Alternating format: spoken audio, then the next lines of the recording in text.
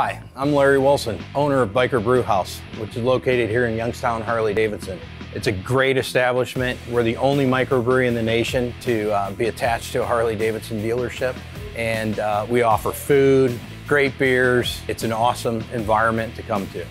So we offer anything from a blonde ale all the way up to dark stouts, IPAs. We brew an everyday drinker.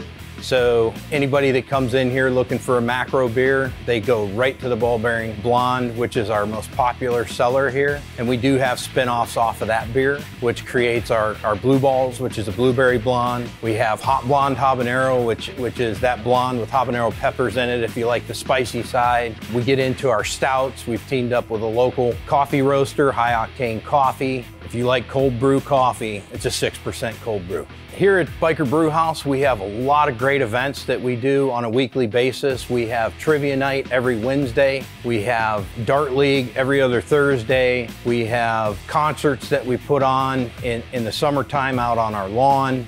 We also bring in duo acts right here in the brew house during these winter months. So we always have constant live music and great things happening. So while you're here at, at Youngstown Harley deciding over which bike you want to buy, you can come into the brew house, sit down, relax, enjoy yourself, order a flatbread pizza, get a burger, have a great cold beer made right here at Youngstown Harley Davidson.